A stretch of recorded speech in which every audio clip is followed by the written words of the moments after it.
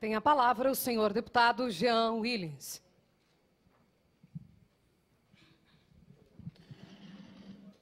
Boa tarde. Boa tarde, presidente Romário. Boa tarde, senador é, Cássio Cunha, em nome de quem eu saúdo todas as autoridades. E quero agradecer a presença em especial das atrizes Isabel Filardes e Bianca Rinaldi, porque o engajamento de pessoas públicas e que têm um, uma relação com o entretenimento e, portanto, com as massas, no, em, em, causas como essa, como a das doenças raras, é por demais importante. Então, eu quero uma salva de palmas para essas duas atrizes que dedicam parte do seu tempo não só a nos entreter, a trazer alegria para as nossas vidas, mas também a se dedicar a causas nobres. O tema das doenças raras entrou na minha vida já na minha campanha. Eu conheci em Volta Redonda, Rio de Janeiro, o estado que eu represento, é, um casal que tem um filho que tem uma doença rara, em que ele pratica uma espécie de autocanibalismo. Eu, e é um casal muito pobre, óbvio, porque eles não podem trabalhar porque tem que cuidar do filho, o que me deu uma clara dimensão de que a doença rara não afeta só o paciente, mas ela afeta indiretamente os familiares. Ou seja, nós temos o problema da pessoa com a doença rara e temos o problema da pessoa que cuida do paciente com doença rara. Então, é um problema de fato de saúde pública que não pode ser ignorado.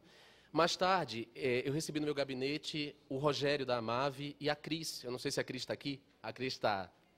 E eles me procuraram é, para a gente tocar um trabalho juntos, porque a pessoa com doença rara, além de sofrer a doença, ela é discriminada. E talvez muita, alguns de vocês não conheçam o que é ser discriminado socialmente, mas é uma coisa terrível. E aí eu prometi para eles, eu falei, não, eu vou me engajar nessa história com vocês, nos engajamos.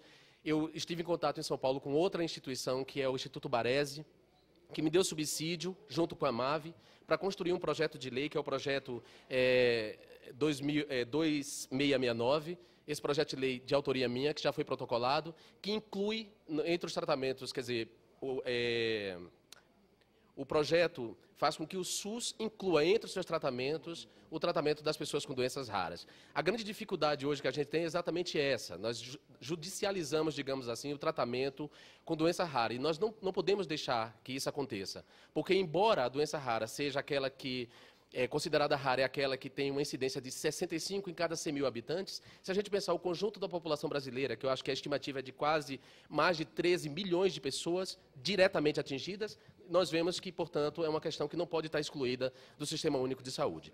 A minha fala será breve, porque, infelizmente, eu vou ter que sair agora. Tem uma outra atividade na Comissão de Direitos Humanos, um assunto igualmente importante. Eu vou lá e volto depois aqui para ouvir os especialistas. Quero desde já pedir desculpas e desejar para vocês um bom seminário e que a gente consiga aprovar aqui na Câmara, conto com a ajuda do Romário, conto com a ajuda da Érica Cocai e dos demais deputados que estão aqui presentes, para que a gente consiga aprovar o mais rápido possível esse projeto em favor das pessoas com doenças raras e dos familiares dessas pessoas. Muito obrigado.